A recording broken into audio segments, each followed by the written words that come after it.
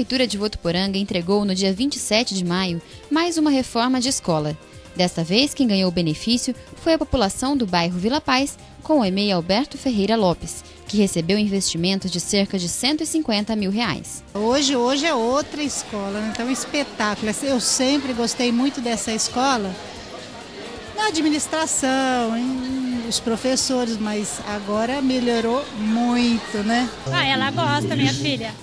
Ela acha muito boa a escolinha, os amiguinhos, a professora, a diretora, todo mundo daqui. Ela gosta, ela fala bem da escolinha.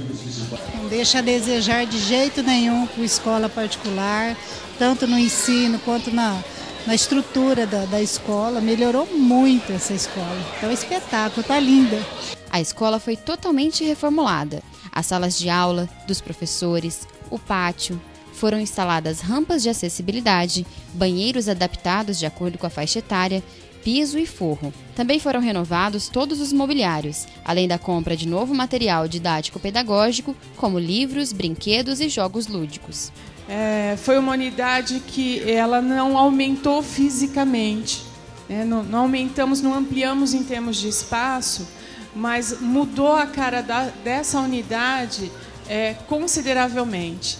Então nós temos aqui toda a equipe e os pais e as crianças que provam isso, né? O Alberto era uma unidade escura, né? era uma unidade cinza, é, triste, eu acho que posso dizer assim, porque por conta do era um vermelhão, então deixava tudo muito escuro, né? Não era uma unidade alegre como a gente pode ver no dia de hoje. Então eu considero o Alberto, apesar de não ter uma sala de aula nova, eu considero uma nova unidade. Né? Não só pela infraestrutura, que foi totalmente remodelada, mas também pelo alto investimento que foi feito em recursos pedagógicos para que os professores e as educadoras pudessem trabalhar com as nossas crianças, pudessem realmente fazer os estímulos educacionais adequados a cada faixa etária. Hoje estamos nessa escola linda digna não de primeiro mundo, mas digna do nosso trabalho e da nossa comunidade escolar.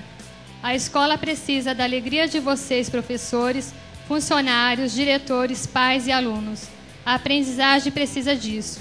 Uma escola de qualidade é aquela que, apesar das adversidades, a sua equipe desenvolve a capacidade de rir, de inventar, de buscar estratégias para driblar a tristeza. O prefeito Júnior Marão destacou que, além das escolas já entregues este ano, outras reformas e ampliações estão sendo finalizadas e também deverão ser inauguradas.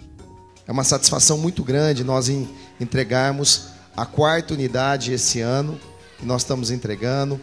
A nossa expectativa é que nós entregaremos esse ano mais de 10 unidades que estão completamente reformadas e a grande maioria ampliada também nesse conceito de arquitetura, dos acabamentos, pensando a questão lúdica, trabalhando com as cores e acima de tudo, a valorização do espaço para que as nossas crianças tenham o prazer de vir à escola, para que eles encontrem aqui um ambiente extremamente adequado para ter uma educação de qualidade.